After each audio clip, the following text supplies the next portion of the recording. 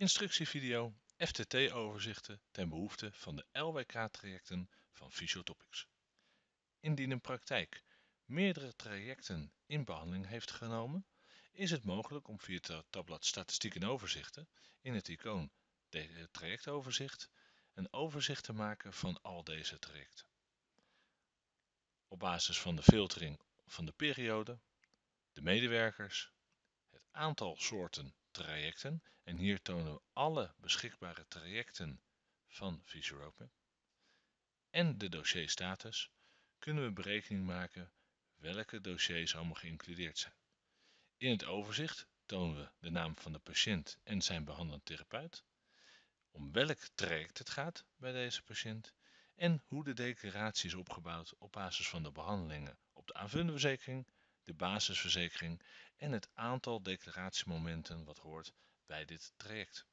In de laatste kolom geven we aan of een dossier is afgesloten of niet. Indien er een afwijking is bij een traject, dan zal in een van de kolommen een uitroepteken genoteerd worden. En door het uitroepteken te selecteren is het mogelijk om de achterliggende inhoud daarvan te tonen. En in dit geval is er dus een traject afgesloten waarbij de declaratiemomenten nog niet naar de zorgverzekeraar zijn gedeclareerd.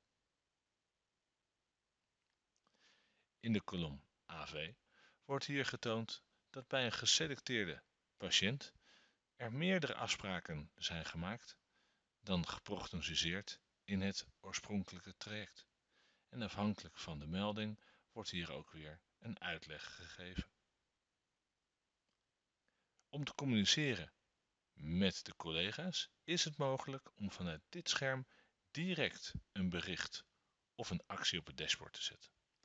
En een belangrijk punt voor de trajecten is de trajectinformatie. Door deze te selecteren tonen we alle onderliggende informatie die hoort bij dit traject.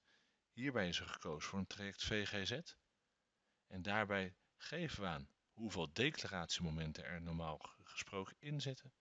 Het eerste cijfertje is het aantal geplande declaratiemomenten.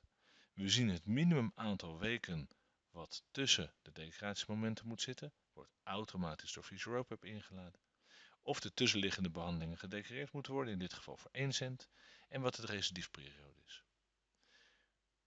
Door de declaratieinformatie eh, verder te openen, tonen we hoeveel prestatiecodes van welk type zijn ingezet in dit uh, traject.